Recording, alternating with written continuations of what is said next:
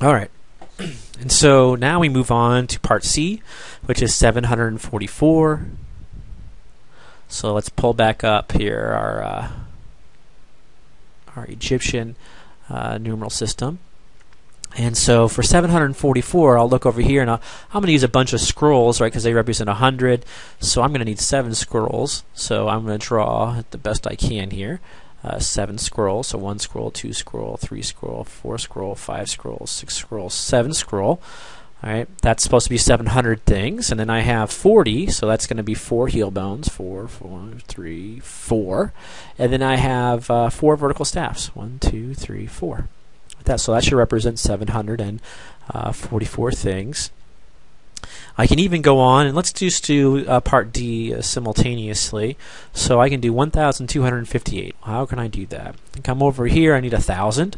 So I'll draw a little lotus flower. All right, so my lotus flower looks like this. And then it goes down and it has a little triangular pod here and little leaves. All right, so there's my lotus flower.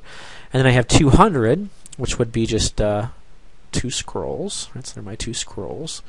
And then 58, uh, okay, so that's five heel bones. Two, three, four, five, and then eight vertical staffs. One, two, three, four, five, six, seven, eight. So you know this further demonstrates this uh, difficulty with expressing uh, numbers with the Egyptian Egyptian the Egyptian numeral system, as you have to keep writing out all these symbols. All right, the Babylonian numeral system now. This one's the tough one. All right, so the idea is I have to fill up. Uh, these spots base 60. So the idea is you have uh, a 1 spot and you have a, a 60 spot. Now you don't need a 60 squared spot because if you look at 60 squared, it's 3,600, which is again is way too large. Right, 744 is much smaller than 3,600. All right, so first you have to figure out, you know, how many 60s do you have in 74? And the simplest way probably to do this, right, you ask the question, uh, how many uh, how many 60s do I have in 744? Well, that's actually a division. So, you know, 744 divided by 60. Oops, too many zeros there. Hit enter, and it looks like we have 12. All right, so here I'll write 12. So I have 12 60s. Okay, so, so far, I've represented 12 times 60, 720, and so I have 24 uh, units left, and so I'll simply write 24 here. Right, so this number, 12 60s plus 24 ones, will give me the number 74, and now I simply have to translate it in terms of the Babylonian numerals.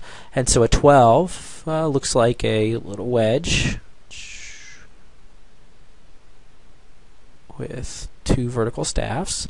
Get a nice big little space here, and then 24, you can look over there, and again, you get two uh, wedges, which is 20, and then four uh, vertical staffs. So one, two, three, and then this one is a four. Okay, so this is uh, the Babylonian numeral for uh, 24. Over here for 1258, you do exactly the same thing. So again, you have a ones position, you have a 60s position. There's not a 60 squared position for the same reason as before. 60 squared is 3,600. And so it's too big of a number to be used to represent 1258. But you're in the same situation. You have to figure out, well, how many 60s do you have in 1258? So you take your calculator.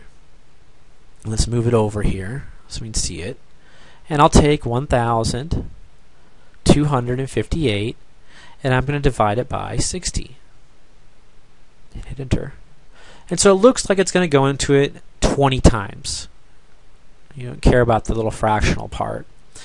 Alright, so what I have here is 20 60s, so the number that's represented so far is 20 times 60.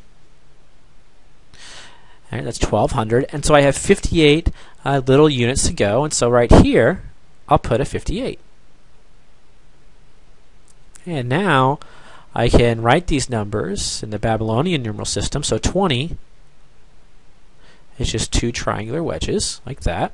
And then 58 is all the way down here, so that's going to be a pain to write. But you can see the symbol, but I'll, let's just write it right here. So take a little space and triangular wedge, triangular wedge, triangular wedge, and there's five of them, obviously, and then eight of these staffs. So one, two, three, four, five, six, seven, eight. So something like that. Okay, it's not perfect, but you get the gist. All right, so the Greek vowels now. Okay, so for Greek vowels, 744. Let's pull up. Let's pull up the uh, Greek numeral system here, so you can see it. so for uh, the Greek numeral system, uh, let's pull it down a little bit. So what you have uh, is what? All right. So you need 700. So you look over here. There's 700 is a psi, and so I simply copy down uh, psi. So psi looks like uh, kind of like a U with a line through it. And then we have a 40. Right, so 40 is this mu, so it's kind of like a U. There's mu. And then we have a little 4, so 4 units, which is a delta. And so here's my delta. All right, so that would be 744. Over here, uh, for the Greek numeral, uh, for this 1,258, well, um, the 1,000 now let's start on the other side. Let's start on the 8. So the 8's easy, right? The 8 is just this eta, so it looks like an N. So there's eta. 5 represents 50, so you come over here and look at 50, and that's this nu, kind of like a V. And then 200, well, you come over here and you get this sigma, right? That represents 200, so we write down sigma. And here's where you have to think a little bit, right? So the idea is the ones, the tens column, this is the hundreds, and if you start over, you get like the thousands column, the ten thousands, the hundred thousands. So for the thousands, you're just going to write an alpha. And we can even put a comma here, just like we do in our numeral system, to indicate, you know, this is actually a thousand and not a uh, one. And finally, the Roman numeral system, which you see right down here. All right, so for the Roman numeral system, uh, what we do is we say, okay, uh, 700. So look up here, we have 500, so we'll write a D.